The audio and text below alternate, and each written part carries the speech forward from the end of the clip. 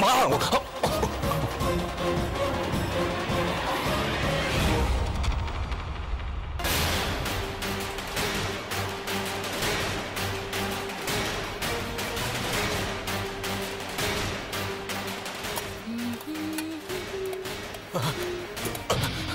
എടി ആ കിളവിയും കൊച്ചുമോനും എത്തി. എടി രഹനയുടെ ഉമ്മമ്മ ആങ്ങളെ എവിടെ കയറുന്നു ഒളിക്കുന്നേ? അതെ ആ സ്റ്റോർ റൂമിൽ കയറിക്കോ എന്നെ ആ തട്ടുകടക്കാരൻ കണ്ടിട്ടുണ്ട്. അവൻ ഇന്ന് നടക്കുന്നൊക്കെ നാളെ മറക്കും. ഇപ്പൊ കണ്ടതൊക്കെ ഓർമ്മ കാണുമെന്തോ എന്റെ ഒരു ഗതികേടേ.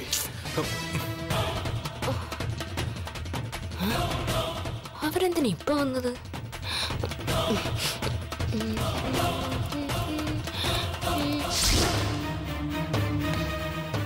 മോനൊരു കാര്യം ചെയ്യ. അങ്ങ് മലപ്പുറത്തോട്ട് വാ. അവിടെ നല്ല മർമാണികളുണ്ട്. ഞാരമ്പെന്തോ പിടഞ്ഞതാ. അത് ശരിയായി കഴിഞ്ഞാൽ ഈ അവസ്ഥയൊക്കെ മാറും. മോന്റെ ഓർമ്മ തിരിച്ചു കിട്ടും. ആ, എനിക്ക് അല്ലറ ചില്ലറ കാര്യങ്ങളൊക്കെ അറിയാം. പക്ഷെ വശമില്ലാതെ ചെയ്താൽ അത് കുഴപ്പമാവും. എങ്കിലും ഒരു ദിവസം ഉമ്മ നന്ദനും നോക്കണം. ഇതൊരു വല്ലാത്ത രോഗം തന്നെ. ഇന്ന് കാണുന്നവരെ നാളെ തിരിച്ചറിയുന്നില്ല. എന്താ പടച്ചോനെ? ആ ആരൊക്കെ വന്നിരിക്കുന്നേ? വന്നത് ഗൗരവമുള്ള വിഷയം സംസാരിക്കാൻ തന്നെ. ആ കൊച്ചിന്റെ പോക്ക് എങ്ങോട്ടാ? രോഹിണിയുടെ. അനിയത്തിയുടെ കൊലയാളിയെ നിക്കാഹ് കഴിക്കാൻ പോകുന്നവളെ അടിയും കൊടുത്ത് ഇവിടെ കൊണ്ടുവരണം. അതാ വേണ്ടത്. എന്നാലും രോഹിണിക്ക് ഇതിനൊക്കെ തോന്നുന്നല്ലോ. എന്നെ ഉമ്മ കുറ്റപ്പെടുത്തുന്നു. രഹനയുടെ കാര്യോ? ആ കുട്ടി എന്തിനാ രോഹിണിയെ സപ്പോർട്ട് ചെയ്യുന്നത്? അവൻ കൊലയാളിയല്ലെന്നാ ഓൾ പറയുന്നത്. ഈ പെങ്കൊച്ചുങ്ങൾക്ക് എന്ത് സംഭവിച്ചെന്നാ ഞമ്മക്ക് മനസ്സിലാകാത്തത്? തല തിരിഞ്ഞോ ഇങ്ങനെയുണ്ടാ? തല്ലിയിട്ടില്ല രഹനമോളെ അറിയാല്ല? അതിന്റെ കുഴപ്പമുണ്ട്. ഏതായാലും ഈ കുടുംബത്തിലെ ഒരു പെങ്കൊച്ച് ആ ജിന്നിനെ കല്യാണം കഴിക്കാൻ പാടില്ല. അത് തടയണ ഇങ്ങൾ ടീച്ചറെ. എന്ത് ചെയ്യാനോ ഉമ്മ? അവനെ കണ്ടുമുട്ടിയ നാൾ മുതൽ അവളുടെ സ്വഭാവം മാറി. ഇപ്പോ അവൻ നിയന്ത്രിക്കുന്ന വഴിയിലൂടെയാ പോകുന്നത്. ഒരു ദിവസം ഓനെ സ്നേഹത്തോടെ വിളിച്ചു വരുത്ത് എന്നിട്ട് വെട്ടി കണ്ടിക്കേ. ടീച്ചറിന് പറ്റുന്നില്ലെങ്കിൽ ഞങ്ങൾക്ക് വിട്ടേക്ക് ഞങ്ങൾ ചെയ്യാം. സമയദോഷം വരുമ്പോൾ നശിക്കാൻ സ്വയം കാരണങ്ങൾ കണ്ടെത്തും. അങ്ങനെ ആൾക്കാര്. അങ്ങനൊന്നും പറഞ്ഞിട്ട് ഒരു കാര്യവും കുടുംബത്തിന്റെ പേര് പോന്ന പണിയാ. ആൾക്കാര് വീട്ടുമുറ്റത്ത് വന്ന് കാറി തുപ്പിട്ട് പോവും. ആ ഓർമ്മ വേണം. എന്നാൽ എങ്ങനെ വളർത്തിയതാ? ടീച്ചറും വിശ്വനാഥൻ സാറും മക്കളെ അവർ ഈ രീതിയിലായി പോയല്ല.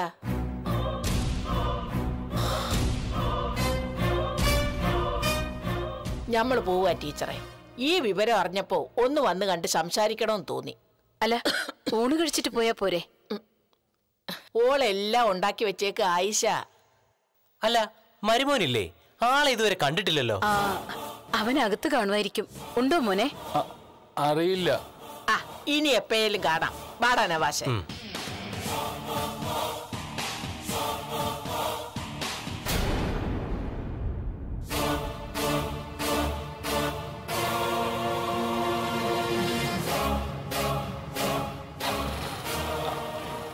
അല്ല ഇവിടെ നിന്ന് ഒരാൾ ഓടി പോകുന്ന കണ്ടു. എന്നെ തള്ളി മാറ്റിട്ട് അയാളാണോ മരുമോൻ? മോനെ തള്ളി മാറ്റിട്ട് പോയെന്നോ. ശരത്തിന് എങ്ങനെ പോണ്ട കാര്യം എന്താ?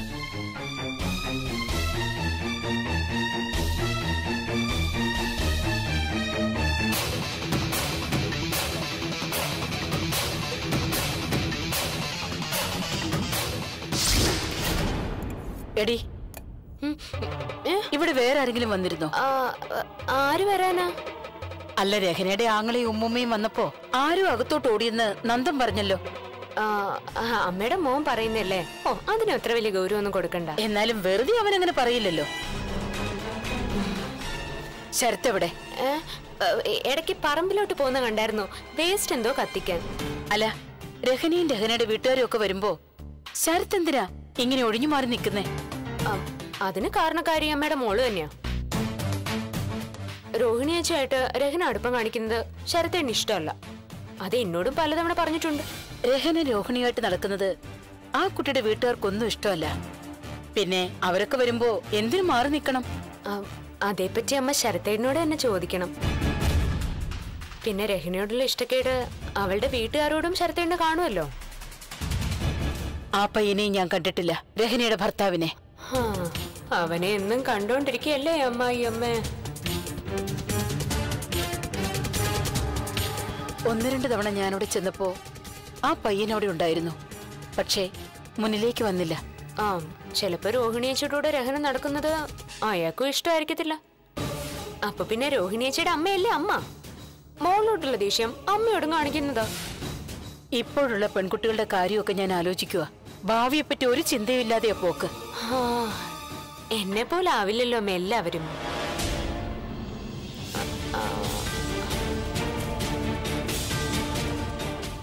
അല്ല ഭാവിയെ പറ്റി ചിന്തിച്ചതുകൊണ്ടാണല്ലോ. ഞാൻ അമ്മയുടെ ഒക്കെ കാലു പിടിച്ചിട്ടായാലും ഈ വീട്ടിനകത്ത് കയറിയത് ആ അതോടെ എന്റെ മോന്റെ ഓർമ്മയും പോയത്. എന്നാലും കുഴപ്പമില്ലമ്മേ നന്ദേട്ടന്റെ ഓർമ്മയായി ഞാൻ കൂടെ തന്നെ ഉണ്ടാവും. നന്ദേട്ടൻ മറക്കുന്നതൊക്കെ ഞാൻ ഓർത്തെടുക്കാൻ സഹായിക്കും. ഒന്നും ഓർക്കാത്ത ഭർത്താവ് എല്ലാം ഓർക്കുന്ന ഭാര്യ. അങ്ങനെയായിരിക്കും ഇനിയുള്ള എന്റെ ജീവിതം. നിർത്തടി. നീ മര്യാദയ്ക്ക് തിന്നാ മതി. കൂടുതൽ വാചോടിയൊന്നും വേണ്ട. വയറ്റിലൊരു കുഞ്ഞുള്ളത് കൊണ്ട് കരുണ കാട്ടി. അതെപ്പോഴും മനസ്സിലുണ്ടാവണം. മരണം വരെ അത് മാത്രം മനസ്സിലുണ്ടാവും അമ്മേ. നിറം മാറുന്നത് എപ്പോഴാണെന്ന് പറയാൻ പറ്റില്ല. നിന്നെ പഠിച്ചു കഴിഞ്ഞ എന്നോട് കൂടുതൽ നല്ല വർത്താനൊന്നും പറയണ്ട. ഉം.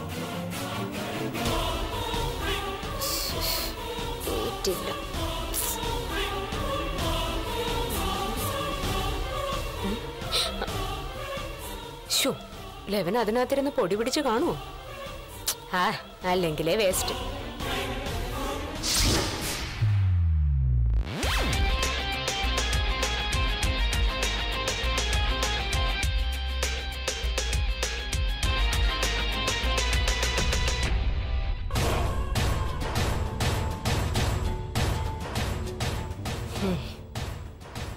അവർ പോയി.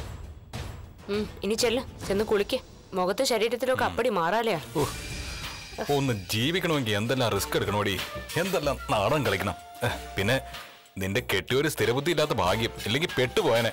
ആ കിളവിക്ക് സംശയമെന്നാ തോന്നുന്നത്. എല്ലാവരും സംശയിക്കും പിടിക്കപ്പെടുകയും ചെയ്യും. എന്നാ അതിനു മുമ്പ് ലക്ഷ്യത്തിലെത്താണ് വേണ്ടത്. ഞാൻ പുറത്താവൂന്ന് ഇപ്പൊ എന്റെ പേടി. നന്ദേട്ടന്റെ ഓർമ്മ തിരിച്ചു കിട്ടാൻ പുതിയ ചികിത്സ നടത്താൻ പോവാണെന്ന് അമ്മ പറയുന്ന കേട്ടായിരുന്നു. അങ്ങനെയാണെങ്കിൽ പഴയതൊക്കെ ഓർത്തെടുത്ത് കഴിഞ്ഞാലേ അതോടെ തീർന്നു നമ്മുടെയൊക്കെ കളി. നീയാ ഇപ്പൊ എന്റെ ബലം. ഭയന്ന് തെറ്റായ തീരുമാനങ്ങൾ എടുക്കാതിരുന്നാ മതി. ആ പ്രോപ്പർട്ടി വാങ്ങാൻ പലരും വരുന്നുണ്ട്. ഇനിയിപ്പോ വലിയ വില കിട്ടുമെന്ന് കരുതി ഇരുന്നിട്ട് കാര്യമില്ല.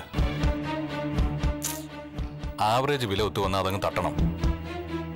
പിന്നെ ആർക്ക് ഓർമ്മ തിരിച്ചു കിട്ടിയാലും ആരെന്തറിഞ്ഞാലും പ്രശ്നമില്ല. ഞാൻ തൊട്ടടുത്ത ഫ്ലൈറ്റിന് രാജ്യം വിടും. എങ്ങനെ രാജ്യം വിടും? എനിക്ക് തരാനുള്ളൊക്കെ തന്നിട്ട് പോയാ മതി. അത് നീ സൂചിപ്പിക്കണ്ട.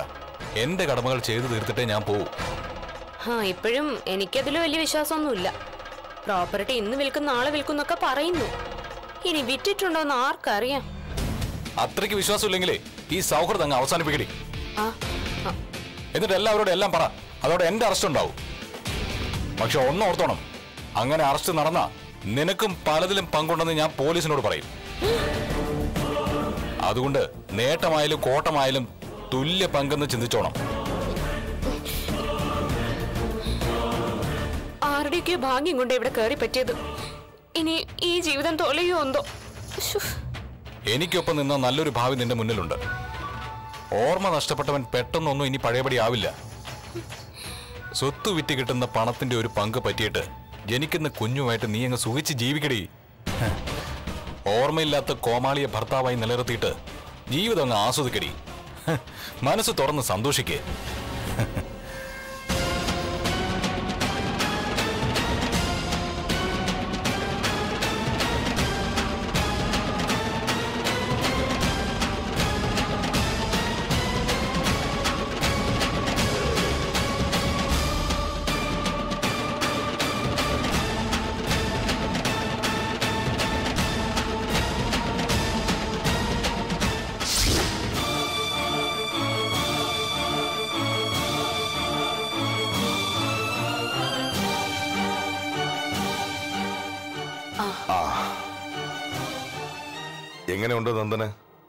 അങ്ങനെ തന്നെ പോകുന്നു.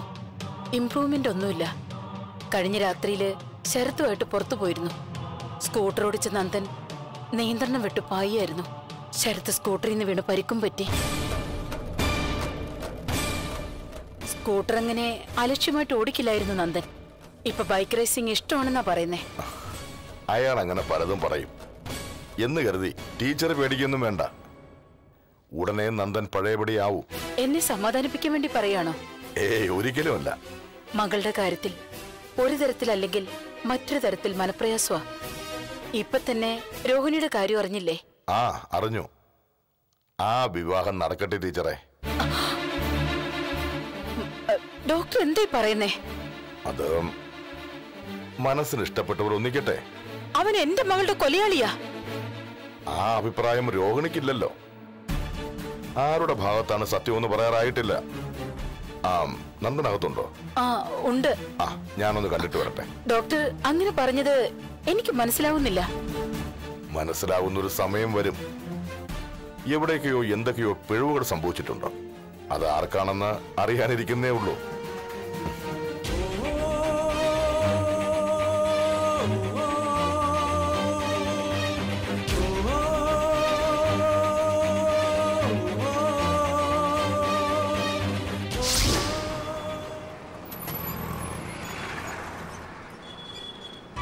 ചെറിയൊരു ചടങ്ങല്ലേ? അതിന് ഇത്രയൊക്കെ വേണമായിരുന്നോ സർ? രോഹിണിക്ക് ഇത് ചെറിയ ചടങ്ങാണെങ്കിലും എന്നെയും എന്റെ അമ്മച്ചിയും സംബന്ധിച്ചിടത്തോളം കാത്തിരിപ്പിന്റെ അവസാന. വിവാഹം ലളിതമാണ്. അപ്പൊ വിവാഹ സാരിയെങ്കിലും വില പിടിച്ചതായിക്കോട്ടെ. രഹനയിൽ ഇനി ടീച്ചറും ഒക്കെ എന്തൊക്കെയോ സമ്മാനങ്ങൾ വാങ്ങി വെച്ചിട്ടുണ്ട്. ഒന്നും വേണ്ടാന്ന് പറഞ്ഞിട്ടും കേട്ടില്ല. ഇത് നമ്മുടെ രണ്ടാമത്തെ കെട്ടാ. ഇനി മൂന്നാമതൊരു കെട്ടും കൂടി വേണ്ടിവരും. അല്ല തന്റെ അമ്മയച്ഛനൊക്കെ അറിയുമ്പോ എല്ലാവരും അറിയിച്ചുകൊണ്ടൊരു ചടങ്ങ് കൂടി വേണ്ടേ? എന്നും ഇങ്ങനെ കല്യാണം കഴിച്ച് നടക്കാനാണോ പരിപാടി? ദൈവം മനുഷ്യനെ കൊണ്ട് പല നാടകങ്ങളും കളിപ്പിക്കും വേഷവും കെട്ടിക്കും. ആ സമയത്ത് അതങ്ങ് ആടി തീർക്കണം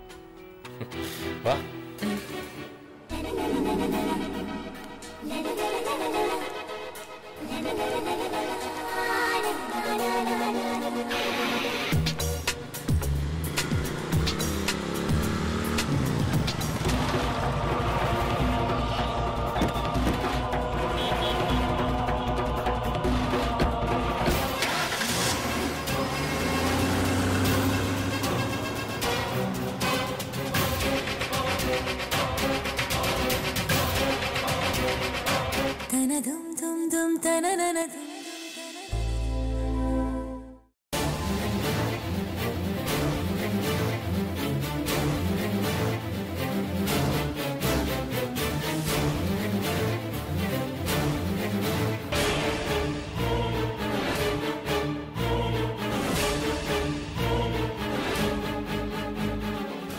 അമ്മേ ചായ കുടിക്കമ്മേ പാൽ കുറച്ച് കടുപ്പം കൂട്ടിയാ ഇട്ടത് ആ, മധുരവും കുറവാ. ഇനിയിപ്പോ കൊഴുപ്പും മധുരം ഉള്ളതൊക്കെ കഴിക്കുകയും കുടിക്കുകയും ചെയ്യുന്നത് കുറയ്ക്കുന്നതാ നല്ലത്. നീ എന്റെ ആരോഗ്യത്തെ പറ്റി ചിന്തിക്കണ്ട. നിന്നെ പറ്റി ചിന്തിച്ചാ മതി. അമ്മ ഇപ്പൊ ഒന്നും ശ്രദ്ധിക്കുന്നില്ല. ഇടയ്ക്കിടയ്ക്ക് ബ്ലഡ് ഒക്കെ ഒന്ന് ടെസ്റ്റ് ചെയ്യണോ അമ്മേ? എന്റെ ആരോഗ്യം ഞാൻ നോക്കിക്കോളെന്ന് പറഞ്ഞല്ലോ. അമ്മ എന്നോട് ദേഷ്യപ്പെടുമ്പോഴും എന്റെ മനസ്സ് എന്നോട് പറയുന്നുണ്ട്. നയനെ നിന്റെ അമ്മായിയമ്മയുടെ അരികിൽ രണ്ട് പെൺമക്കളും ഇല്ല മരുമക്കളും മകളും ഒക്കെ ആയിട്ട് നീ മാത്രമേ ഉള്ളൂ. അതുകൊണ്ടൊരു മകൾ കൊടുക്കുന്ന സ്നേഹം ആ അമ്മായിക്ക് നീ കൊടുക്കണമെന്ന് തീർന്നോ? അങ്ങനെ പെട്ടെന്ന് തീർക്കാൻ പറ്റുന്നതാണോ മേ സ്നേഹം? അത് തുടർന്നുകൊണ്ടേയിരിക്കും.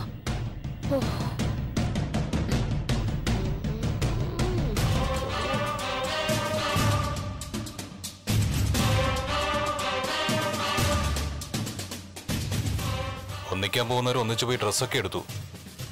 ജോസും രോഹിണിയും ഡ്രസ്സൊക്കെ എടുത്ത് ടെക്സ്റ്റൈൽസിൽ നിന്ന് ഇറങ്ങി വരുന്നത് എന്റെ ഫ്രണ്ട് പ്രകാശം കണ്ടു.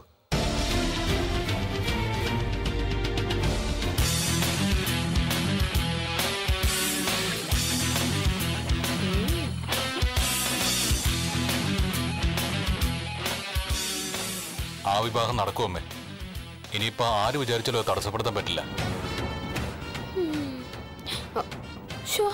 എന്നാലും ഇങ്ങനെ പ്രതികാര ബുദ്ധിയോടെ പോകുന്ന പെണ്ണുങ്ങൾ ഉണ്ടല്ലോ കൊല്ലം തോന്നും എനിക്ക് അവളെ അവളങ്ങ് മരിച്ചു കഴിഞ്ഞാ പിന്നെ മകളെന്ന അപവാദവും പേര് നടക്കണ്ടല്ലോ.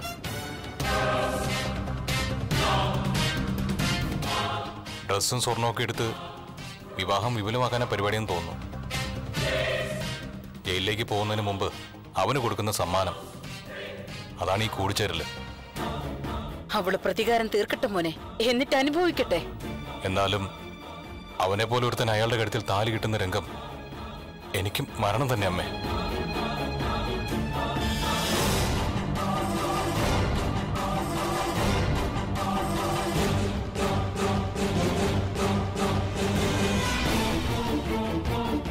അവന് തോക്ക് കയറി വാങ്ങിക്കൊടുക്കാൻ പറ്റുമോ നോക്കട്ടെ. അങ്ങനെ ചെയ്ത അഡ്വക്കറ്റിന് ഞാൻ അവർ ചോദിക്കുന്നതൊക്കെ കൊടുക്കും.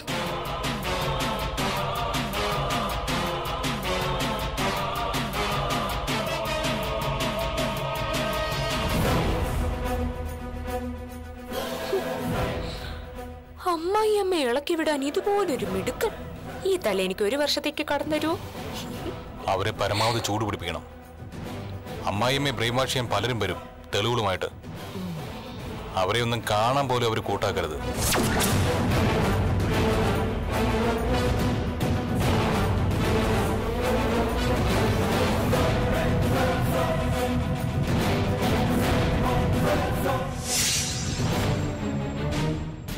അവന്റെ ഭാഗം ഇനി കോടതി കേൾക്കും. കേട്ടിട്ടും വലിയ പ്രയോജനമൊന്നുമില്ല. അത്ഭുതമൊന്നും സംഭവിക്കില്ല. ഒരു മകളെയല്ല ഇപ്പൊ രണ്ടാമത്തെ മകളെയും അവൻ വരുതിയിലാക്കി കഴിഞ്ഞു. അവൾക്കും എന്റെ ഇളയ മകളുടെ വിധി ഉണ്ടാകുമെന്ന് സംശയമുണ്ട്. എന്നിട്ടും അവനുമായി ഒന്നിക്കുവാൻ തിടുക്കം കാട്ടുന്നു. കോടതി കൂടുന്നതിന് മുമ്പ് താലികെട്ട് നടത്തണമെന്ന് അവനേക്കാൾ അവൾ ആഗ്രഹിക്കുന്നു. ആ തലതിരിഞ്ഞ പോക്കിന് അവൾക്ക് തിരിച്ചടി കിട്ടണം. എത്ര കുരുട്ടു ബുദ്ധിയുള്ള ആളാണ് ജോസെങ്കിലും? അയാളുടെ ഉപദേശത്തിന് ഇത്രയ്ക്ക് ശക്തി ഉണ്ടാവുമോ ടീച്ചറിന്റെയും വിശ്വനാഥൻ സാറിന്റെയും മകളാണ് രോഹിണി. രാഖിയുടെ ചേച്ചിയാണ്. അങ്ങനെയുള്ളവൾ അവൻ പറയുന്നതൊക്കെ കേൾക്കണമെങ്കിൽ അവന്റെ കഴിവ് നമ്മൾ ചിന്തിക്കുന്നതിലും അപ്പുറമായിരിക്കണമല്ലോ. അതിന് തെളിവാണല്ലോ ഇതൊക്കെ. ഇതിലൊരു മറുവശം ഉണ്ടോ ഒന്നുമില്ല വക്കീലെ. അവന്റെ കൂടെയുള്ള ജീവിതം എന്റെ മോളുടെ ശൈലി മുഴുവൻ മാറ്റിമറിച്ചു. അവൻ കോടതിയിൽ വെച്ച് പലതും പറഞ്ഞ കൂട്ടത്തിൽ ടീച്ചറിന്റെ മരുമകനെ കുറിച്ച് മാജാലനായി. അത് ടീച്ചറും കേട്ടായിരുന്നല്ലോ. രാഖിമോൾ കൊല ചെയ്യപ്പെട്ട ദിവസം അവൻ രാഖിമോളെ വിളിച്ചപ്പോ ആ കുട്ടി മൊബൈൽ അറ്റൻഡ് ചെയ്തു. പക്ഷെ ഒന്നും സംസാരിച്ചില്ല. ആ സമയത്ത് മൊബൈൽ അറ്റൻഡ് ചെയ്തത് ശരത്താണോ എന്നുള്ള സംശയവും അയാൾ പറഞ്ഞു. അതൊക്കെ അവൻ ഉണ്ടാക്കുന്ന കഥകളാണ്. ഇത്തരം കെട്ടുകഥകളിലൂടെയാണ് അവൻ എന്റെ മോളെയും വശത്താക്കിയത് അല്ല ഞാൻ വെറുതെ ഒരു സംശയം പറഞ്ഞേ ഉള്ളൂ ഇതുപോലെ ചില കേസുകളിൽ നമ്മൾ നിരപരാധിയാണെന്ന് കരുതിയവർ പ്രതിയായ സാഹചര്യവുമുണ്ട് ഇതിനെ അതുമായി കമ്പയർ ചെയ്യണ്ട അവനൊരു കൊടും കുറ്റവാളിയാ എന്റെ കണ്ണിൽ വധശിക്ഷ കിട്ടേണ്ടവൻ മകളെ ക്രൂരമായി കൊന്നവൻ മരിക്കണമെന്നേ ഒരമ്മ ആഗ്രഹിക്കൂ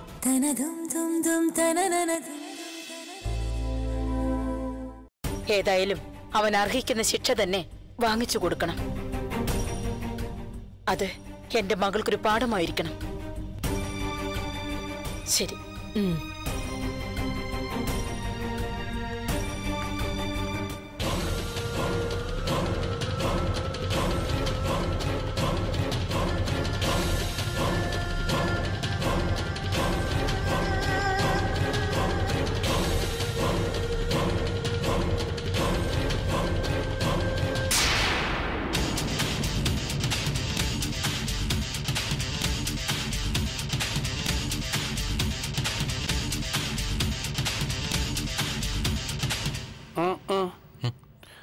എന്താടാ മോനെ? നമുക്കൊന്ന് സ്കൂട്ടറിൽ പുറത്തേക്ക് കറങ്ങാൻ പോയാലോ? ഉണങ്ങി പോയിക്കോ. സ്കൂട്ടർ വാടകയ്ക്ക് എടുത്തുതരാം എന്റെ സ്കൂട്ടറും ഇല്ല ഞാൻ കൂടെ വരത്തുമില്ല അതെന്താ അങ്ങനെ? അയ്യോ ഓർമ്മയില്ലേ? കഴിഞ്ഞ ദിവസം സ്കൂട്ടറിൽ പോയത്? എപ്പാ? എപ്പോഴാന്നോ? ഓ പറഞ്ഞ പോലെ ഇന്നലെ നടന്നൊന്നും ഓർക്കത്തില്ലല്ലോ. ഇന്നലെ ഒന്നിച്ച് സ്കൂട്ടറിൽ പോയത് ഈ ജന്മം ഞാൻ മറക്കില്ല കേട്ടോ. അപ്പൊ ഇന്നലെ ഞാൻ എന്താ കാണിച്ചതെന്ന് എനിക്ക് ഓർമ്മയില്ല. എന്നാലും ഞാൻ ഉറപ്പിച്ച് പറയുക ഇനി അങ്ങനെ ഒന്നും ഉണ്ടാവത്തില്ല. ഞാൻ മര്യാദയ്ക്ക് സ്കൂട്ടർ ഓടിച്ചോളാം. അയ്യോ ഞാനില്ലേ? നമ്മളെ വിട്ടേര്. ഇവിടെ ഇരുന്ന് ബോറടിച്ചു. ബോറടിക്കുന്ന പോയി തൂങ്ങി ചവണം. തൂങ്ങിച്ചാവാൻ തോന്നുക ഇത് തന്നെയല്ലേ ഞാനിപ്പോ ചിന്തിച്ചേ. കയറ് വേണോ? അല്ല തൂങ്ങിച്ചാവാനേ. ഞാൻ ചാവുന്നതാണോ ചേട്ടന് ഇഷ്ടം? പിന്നെ തൂങ്ങി എന്നൊക്കെ പറഞ്ഞ് ഞാൻ എന്താ പറയണ്ടേ? അല്ല ഞാൻ എന്തിനാ ഇങ്ങനെ ജീവിക്കുന്നത് എന്നാ പോയി ചാവണ നായേ. ആർക്കും പ്രയോജനമില്ലാത്തൊരു ജീവിതം. ആരെയും തിരിച്ചറിയുന്നുമില്ല. നിന്റെ കാര്യത്തിൽ എനിക്ക് സങ്കടം ഉണ്ടാ മോനെ. എങ്ങനെ നടന്നിരുന്ന ചെറുപ്പക്കാരനാ? എത്ര പെട്ടെന്നാ നീ ഈ രീതിയിലായത്? ചില നേരത്ത് എന്തൊക്കെയോ ഓർമ്മ കിട്ടുന്നുണ്ട് കേട്ടോ. എന്താ എന്താ നീ ഓർത്തെടുക്കുന്നേ? അത് ചിലരൊക്കെ ചേർന്ന് എന്നെ എന്നെ ഇങ്ങനെ തല്ലുന്ന പോലെ തോന്നി. ആരുടെങ്കിലും ഒക്കെ അല്ല മുഖം ഓർമ്മ വരുന്നുണ്ടോ?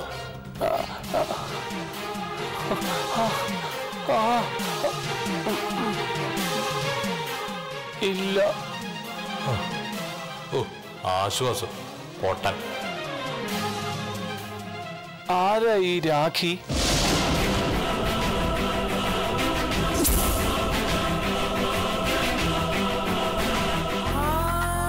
ഇവൾക്ക് ഇതൊരു പുതിയ ജീവിതമാകുമ്പോൾ ഈ താലിച്ചരട് പൊട്ടിക്കാൻ ബന്ധുക്കൾ തന്റെ ശത്രുക്കളായി എത്തുന്നു.